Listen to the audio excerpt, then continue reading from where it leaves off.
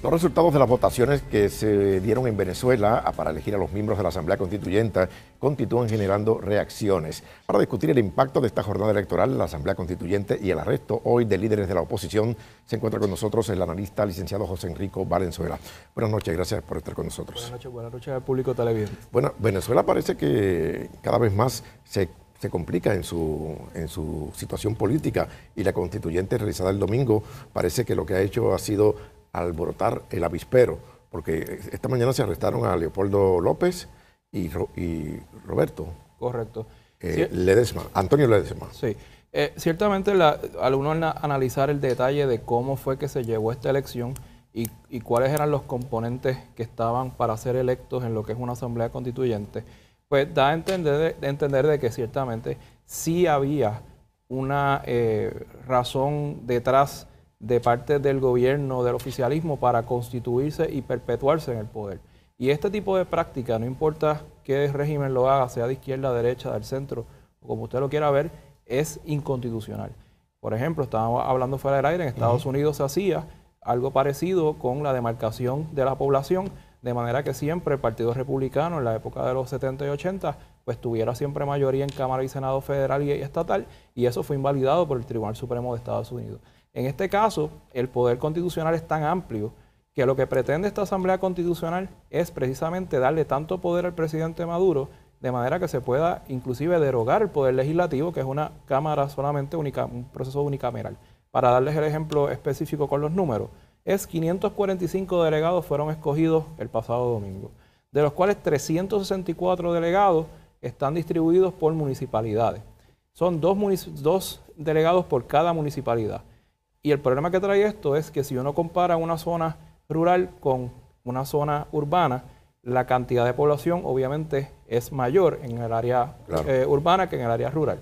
Por ende, al tú tener esta disparidad, el régimen lo que hizo fue tratar de concentrar las áreas rurales donde más arraigo tiene y equiparar esa población con, aunque no es el número igual, con el área que es urbana. Y esto pues elimina toda posibilidad de un voto por eh, una persona y por ende crea una inflación o una, eh, diría yo, eh, representación artificial de lo que corresponde en una democracia un voto por una persona. Bueno, ¿y qué, va a pasar ahora luego de la constituyente del domingo? Bueno, ahora... ¿qué, procede? ese era el otro elemento preocupante que tenía esta elección, que es que no había una, una delimitación de poder de lo que, pudiera, de lo que va a ejecutar estos, estos delegados para la Asamblea Constitucional y le da una carta blanca a estos delegados a que hagan lo que ellos entiendan. Cambios en la Constitución. Así es. Y obviamente esto va en contra también de cualquier principio constitucional de una rama de tres poderes, debo decir, donde hay tres ramas y hay unos pesos y unos contrapesos, en inglés check and balances, donde en efecto pues el Tribunal Supremo puede eh, contrarrestar lo que diga la Cámara y el Senado y así con el área eh, de la rama ejecutiva, que es por ejemplo lo que tenemos en Puerto Rico en Estados Unidos.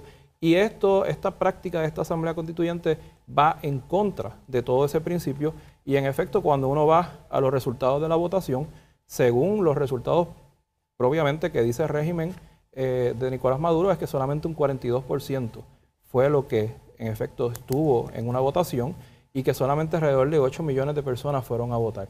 Si uno compara esa situación con el plebiscito anterior o el referéndum que se llevó a cabo dos semanas previas, que fue a mediados de julio de este pasado mes que acaba de ocurrir el 2017, alrededor de 7.2 millones de personas votaron en la oposición, en el extranjero y en un no contundente a este cambio que está solicitando el señor Maduro. Le pregunto, ¿qué implicaciones tendría eh, la decisión de Estados Unidos de congelarle activos a, Venezuela?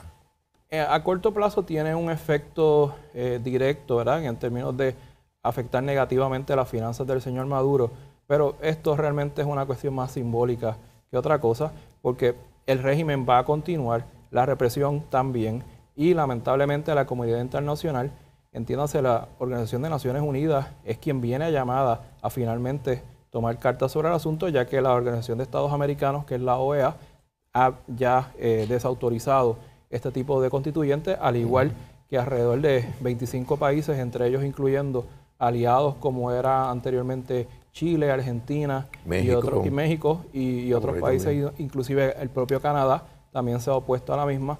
Sin embargo, tenemos a El Salvador, a Nicaragua y a Rusia, que han sido los únicos que han, se han mantenido a favor de esta constituyente. ¿Realmente entiende que hay posibilidad de revertir el proceso político que de Maduro en lo que se considera la profundización de la política boliviana?